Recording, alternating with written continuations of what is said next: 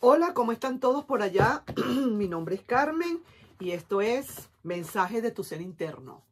Vamos a ver entonces, eh, puedes ver un poquito más la mesa, vamos a ver si puedo llegar a mostrarte las cartas. Lo que pasa es que el espacio es muy pequeño y no me da el, no me da no me da el largo, no me da el ancho, no sé. Pero por lo menos sí te estoy mostrando aquí mi velita bella y preciosa, mi velita que de verdad siempre o casi siempre me acompaña, ¿ok? Vamos a ver entonces qué nos quiere decir nuestro querido y adorado ser, nuestro ser interno. Vamos a ver con respecto al amor o el desamor.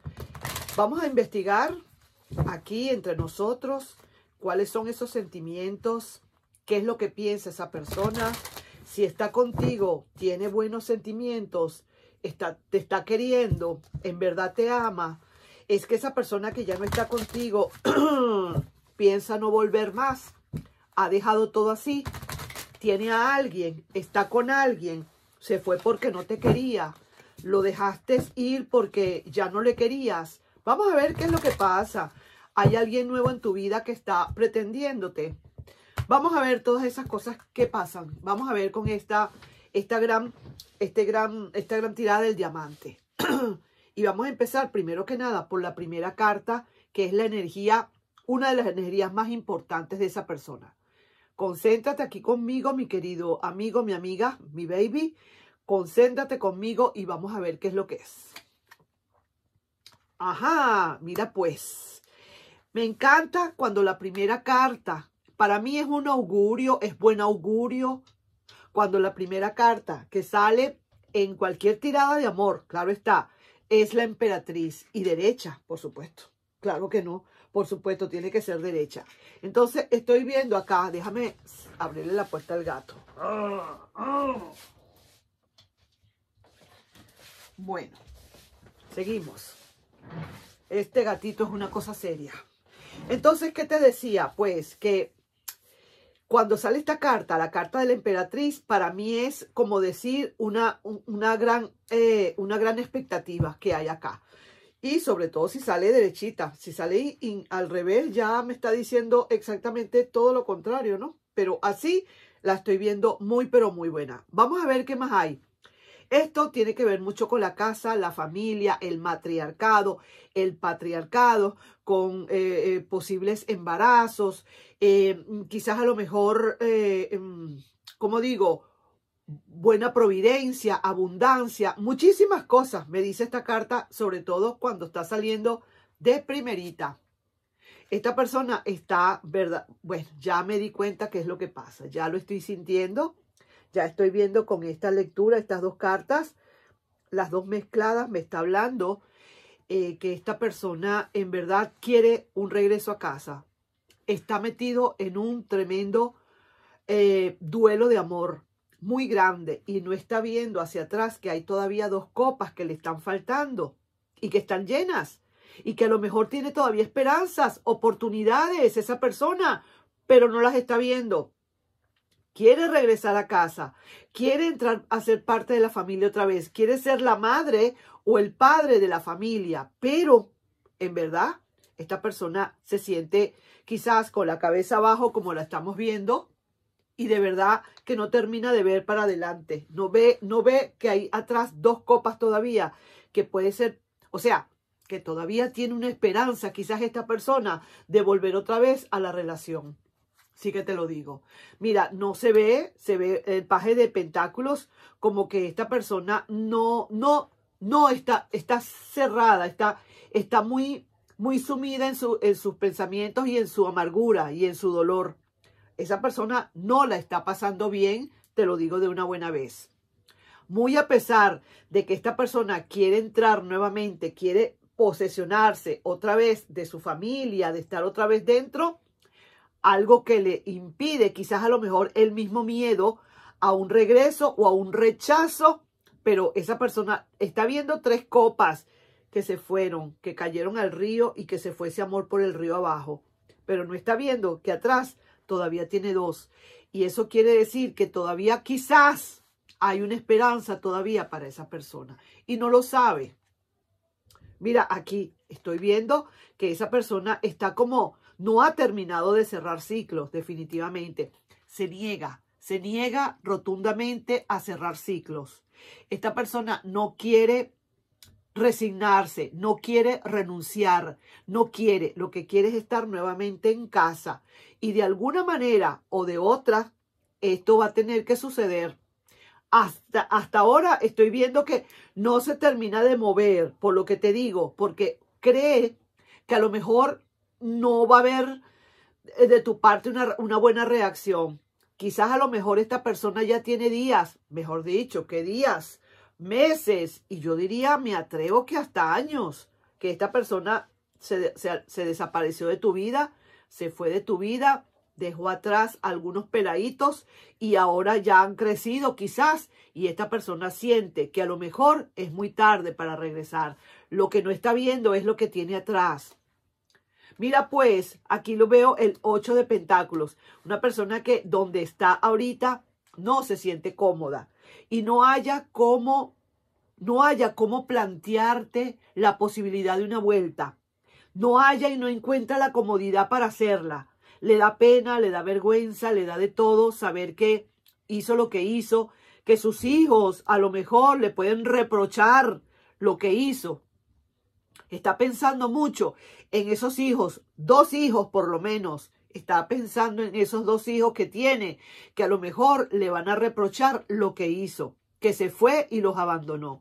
Eso es lo que estoy viendo acá. Sin embargo, esa persona con todas las de la ley, por esa primera carta, oye bien, que vi de la emperatriz derechita, me está dando a entender que esta persona quizás tiene una esperanza, aunque no la ve todavía, pero muy probablemente tenga una esperanza.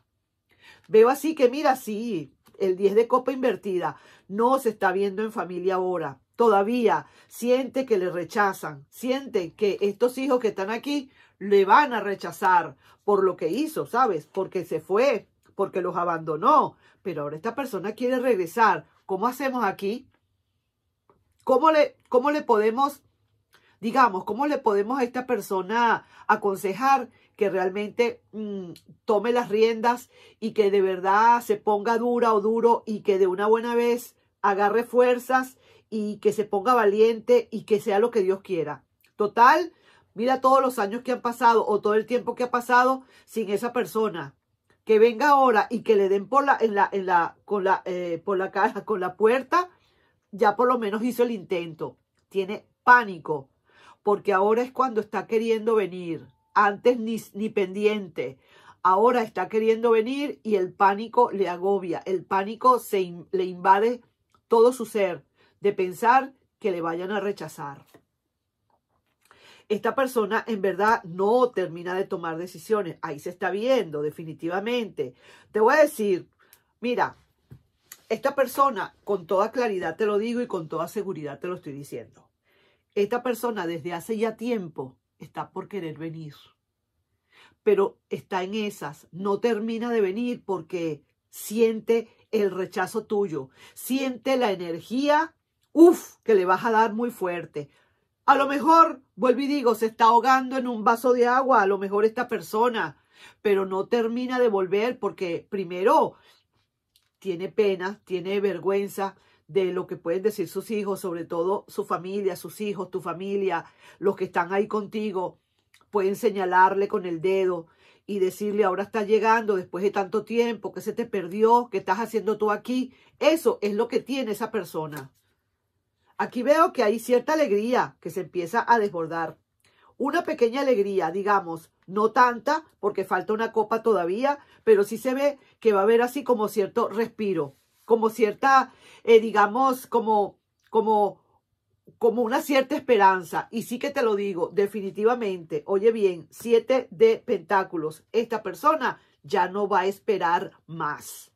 Ya esperó, digamos, suficiente. Ya esta persona en verdad ya ha esperado suficiente y va a venir acá, como estoy viendo. Y el tarot te lo está aconsejando.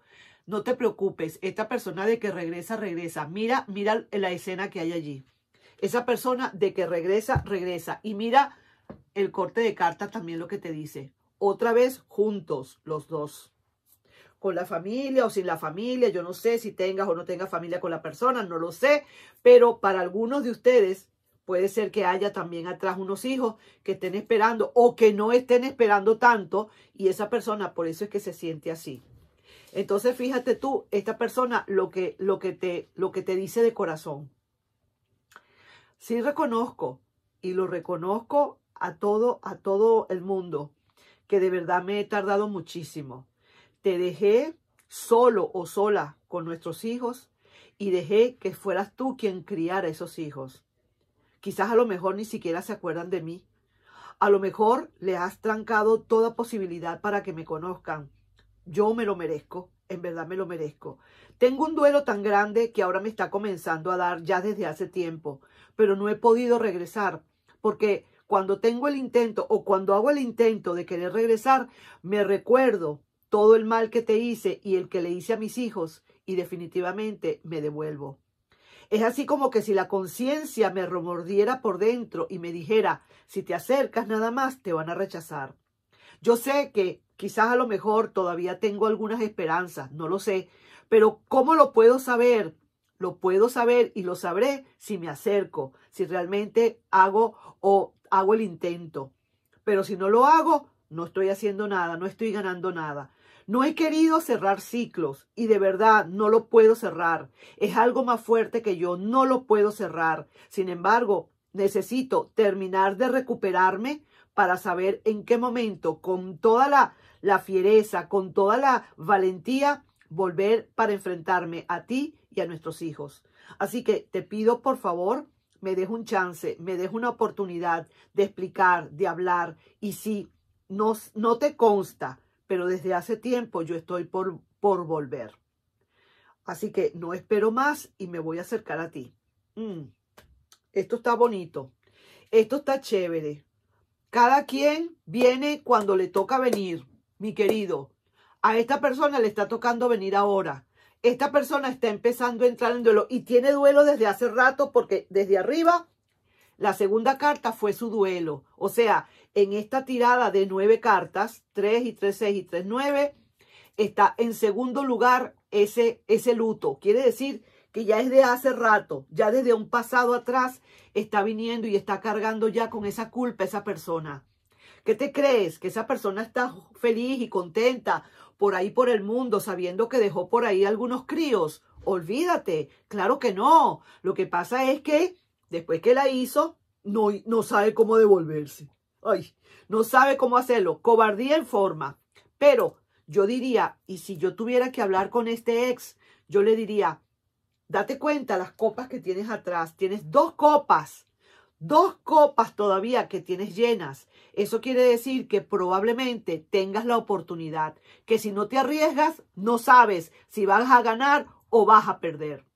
Bueno, ahí yo estoy dejando esa lectura, mi querido y adorado amigo, mi amiga, mi baby, mis babies. Aquí les estoy dejando esta lectura, no sin antes pedirte, por favor, si te puedes suscribir al canal, darle un like, compartir este video. Date cuenta, a veces pasa, ¿no? Lo, que pasa, que el padre de familia o la madre de familia, años desaparecidos del planeta Tierra, y de repente quieren como aparecer. Les ha dado, como quien dice, el duelo, les ha tocado la puerta el duelo y les ha dicho, te toca a ti ahora caer en letargo, caer en duelo, ahora te toca a ti. Y entonces esta persona, viendo que quizás todo está perdido, no voltea porque sabe que atrás, no sabe, perdón, que atrás hay unas copitas de amor. Eso quiere decir que probablemente hay una esperanza. Yo estoy viendo acá que hay varias, varias cartas de oros. Eso me está indicando a mí eh, mm, materialización, que en realidad aquí es mucho lo que se puede materializar.